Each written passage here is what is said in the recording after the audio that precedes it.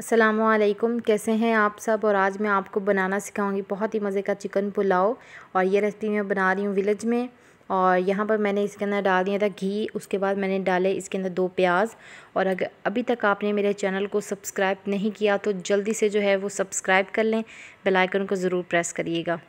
प्याज जो हैं वो अच्छे से ब्राउन हो चुके थे, मैंने इसके अंदर डाल दिया चिकन। और चिकन डालने के बाद मैंने इसके अंदर डाल दिया एक टमाटर और दो हरी मिर्चें और ये पुलाव बहुत मज़े का बनता है और मैं विलेज में बना रही हूँ। आप सबको कैसा लग रहा है कमेंट करके ज़रूर बताइएगा।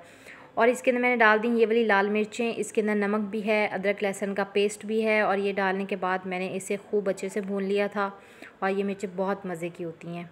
और अभी मैं इसके अंदर डाल दूँगी नेशनल का पुलाव मसाला और ये पुलाव मसाला बहुत मज़े का होता है। इससे पुलाव बहुत अच्छा बनता है, आप सबको पता ही होगा। और हाफ़ पैकेट जो है मैं इसके अंदर ये डाल दूँगी।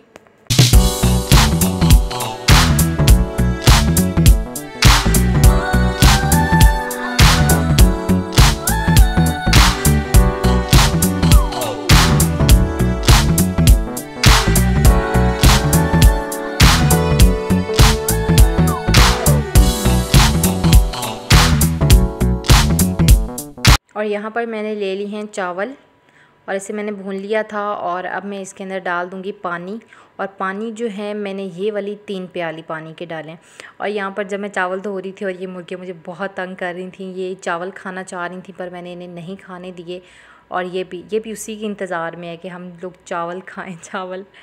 और अच्छे से वॉश करने के बाद मैंने इसके अंदर डाल दिए और अब हम पानी को अच्छे से खुश कर लेंगे।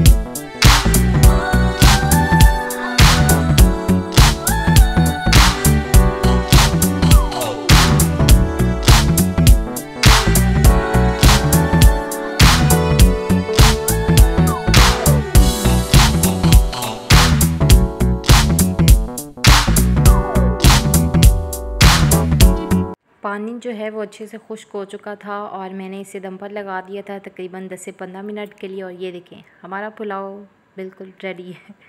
और ये सच में बहुत ज़्यादा अच्छा बना था। और आपने मुझे कमेंट करके ज़रूर बताना है कि आपको ये रेसिपी कैसी लगी और आपको ये जगह कैसी लगी जिस जगह मैंने ये बनाया।